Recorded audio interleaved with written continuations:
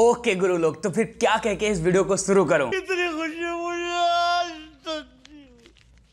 मुझे trust me बहुतों के दिल टूटने वाले हैं। एंड मैं सीधे डायरेक्ट मुद्दे पर आता हूँ, यहीं पर बोलता हूँ कि भाई, ये के ड्रामा सबके लिए नहीं है। थोड़ा सा ध्यान से सुनना, अगर इस के ड्रामा को लेकर के आप सच में सीरियस हो, पहले देखो, ये जान लो कि ये ड्रामा किस ऑडियंस को टारगेट करता है। तो उसका जवाब है दोस्त कि जो ये के ड्रामा है, ये केवल एंड केवल उन लोगों के लिए बनाया गया है जो कि romantic complicated romantic love story देखना पसंद करते हैं। एंड इन केस अगर आप एक मासी फ़ैन हो, आपको एक्शन धूम धड़ाका चाहिए तो यहीं पर मैं बता रहा हूँ। जाते जाते चैनल को सब्सक्राइब कर लेना बट दोस्त, ये सीरीज़ आपके काम की नहीं है। लेकिन इन केस भाई, अगर आप एक रोमांटिक फ़ैन हो तो बस स्वागत है आपका इस वीडियो में।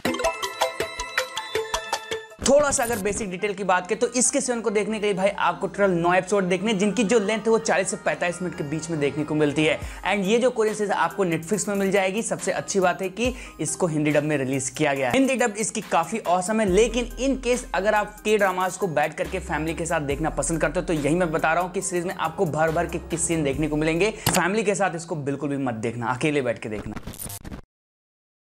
सो so, देखो भाई इस केडामा की जो कहानी जैसे हमने स्टार्ट बताया कि बहुत ज़्यादा कॉम्प्लिकेटेड है जो कि एक हार्ट ब्रोकन लड़की को फॉलो करती है जिसका नाम है डूना बंदी प्यार में धोखा खा चुकी है एंड अपनी चीज़ों में वो मगन रहती है। जब भाई उसके सारे दिन सुट्टा मार करके निकलते रहते हैं तो उसकी मुलाकात होती है एक दिन वानजू के करेक्टर से। वानजू जो कि भाई सिविल इंजीनियर की पढ़ाई करने आता है and for kind of information मैं भी सिविल इंजीनियर हूँ बट इसमें जो देखने को मिला वो एक डिफरेंट था। मेरे कॉलेज में भाई टीचर लोग फाड़ के रख देते थे असाइनमेंट दे दे करके अंडरवियर भी धुलने का टाइम नहीं मिलता था। लेकिन जो अपना वांजो है, उसको अंडरवियर धुलने का ही टाइम नहीं मिलता, बल्कि वो प्यार कर बैठता है डूना से। अब ये डूना से प्यार कैसे होता है? एंड इनकी जो कॉम्प्लिकेटेड एक लव स्टोरी शुरू होती है, जिसमें ये एक दूसरे को न बता पाते हैं, न जता पाते हैं बट प्यार करते रहते हैं। तो इनका एंड रिज़ल्ट क्या निकलेगा? एंड जो अदर करेक्टर है, इनके पास से जुड़े हुए, उनका, इनकी लव स्टोरी पर इम्पैक्ट क्या निकलेगा? ये सब जानने के लिए आपको इस को देखना पड़ेगा। लेकिन भाई, इस कहानी को साइड में रखते अब अगर बात की अच्छी जो की एंड अगर आप मुझसे पूछोगे कि भाई दो रीजन दो इस केडामा को देखने का तो बस मैं इतना ही बोलूँगा इन केस भाई अगर आप बेसुजी के डाई हार्ड फ़ैन हो तो बस मैं पहला रीजन आपको यह दूँगा कि अगर आप डाई हार्ड फ़ैन हो बेसुजी को तो इस चीज़ को आपको मिस नहीं करना। पूरी सीरीज़ में इस बंदे ने आग लगा दिया एंड जिस हिसाब से इस केडामा में बेसुजी को प्रेजेंट किया गया, वो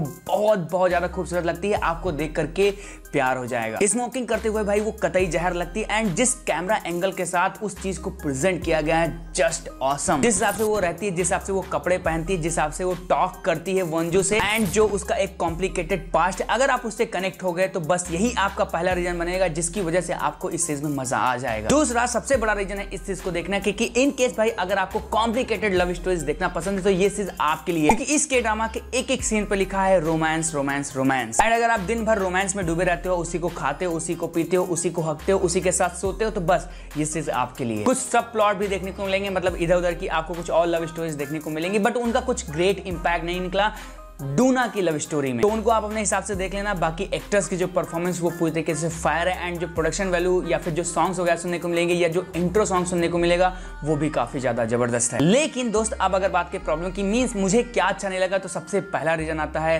भाई एंडिंग मतलब भाई, जो अपने दोनों लीड हैं, अपनी सिचुएशन को लेकर के जो डिसीज़न लेते हैं लास्ट में, वो कतई मुझे पसंद नहीं आया। एंड नेक्स्ट बड़ी प्रॉब्लम जो कि मुझे इस केडमा के साथ फील हुई, वो है इसकी कहानी, जो कि बहुत ज़्यादा बेसिक है। कॉम्प्लिकेटेड तो है। आपको ये सोचने समझने पर मजबूर करती रहेगी कि कौन सही, कौन गलत, कौन किससे प्यार कर रहा है। बट इसके अलावा जो इसमें एक ट्विस्ट होने चाहिए, वहाँ पर इसकी जो कहानी, वो मात खाती मतलब आपको ऐसा कुछ भी सरप्राइजिंग देखने को नहीं मिलता, जिसको देख करके आप उछल पड़ो। सब कुछ बहुत प्रिडिक्टेबल वे में जाता रहता है तो वो थोड़ा सा डिसअपॉइंटिंग था। अदरवाइज़ भाई आपको छोटे मोटे और भी इश्यूज़ देखने को मिलेंगे, जिसमें से सबसे बड़ा इशू था कि भाई इसकी एंडिंग बहुत ज़्यादा पैथेटिक है। तो उन पर कमेंट करके मैं आपका मज़ा खराब नहीं करूँगा, बस मैं इतना ही बोलूँगा कि इन केस भाई अगर आपको कॉम्प्लिकेटेड लव स्टोरीज देखना पसंद है, आपको हार्ट ब्रोकन वाली कहानियाँ देखना पसंद है के ड्रामाज में तो बस आप इस चीज़ को देख सकते हो। इस चीज़ में जो आपको एक्टर्स की परफॉर्मेंस देखने को मिलेगी, जो उनकी केमिस्ट्री देखने को मिलेगी एंड उस केमिस्ट्री में जो आपको ओम्फ मिलेगा, उसको देख करके आपको मज़ा आ जाएगा। मेरी बात करें तो मेरे में भाई ये एक डिसेंट रोमांटिक कोरियन ड्रामा है, जो कि एक बार देखा जा सकता है, केवल और केवल रोमांस के लिए। अदरवाइज़ कुछ ऐसा एक्स्ट्रा ऑर्डनरी या फिर सरप्राइजिंग देखने को नहीं मिला, जिसकी वजह से आपको इसको हाईली हाईली रिकमेंड करूँ। नहीं,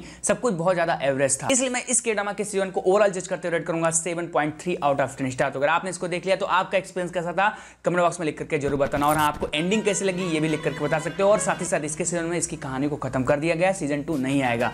तो वीडियो पसंद आएगी तो वीडियो को लाइक करना, चैनल को सब्सक्राइब करना अगर आपने अभी तक नहीं सब्सक्राइब किया, ऐसी वीडियो देखने के लिए। और हाँ अगर आप टर्किश ड्रामा देखना चाहते हो तो आप मेरी इस वीडियो को चेक कर लेना। बाकी मैं फिर से मिलता हूँ अगले वीडियो में। Until then, bye bye.